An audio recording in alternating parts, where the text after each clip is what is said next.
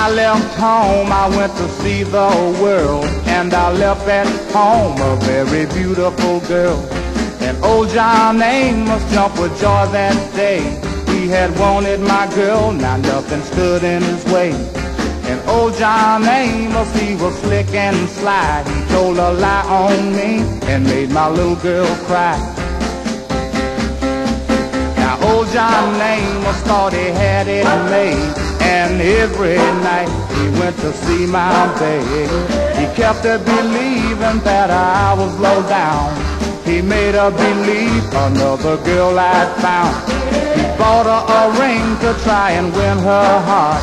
And the letters I wrote, she tore them all apart. And while I was a roaming round, I got to thinking about that girl of mine and why she wasn't writing me.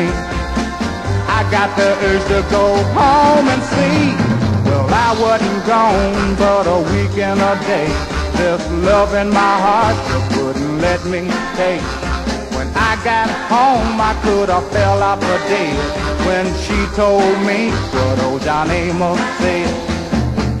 John Amos told a lie to her.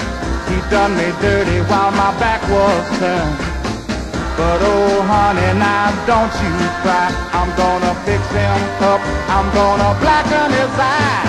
Then something told me from down inside that if I've never left, he couldn't have never lied.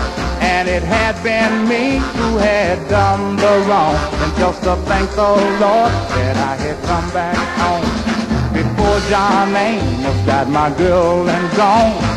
Thank the Lord that I had come back home before John Amos.